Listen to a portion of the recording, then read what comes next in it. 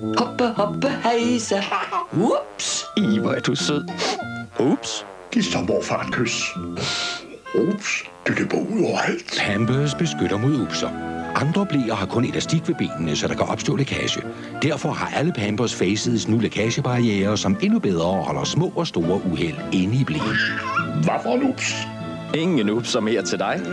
Uden upser går det bedre. Nye Pampers Faces med lækagebarriere beskytter bedre og holder tørrere.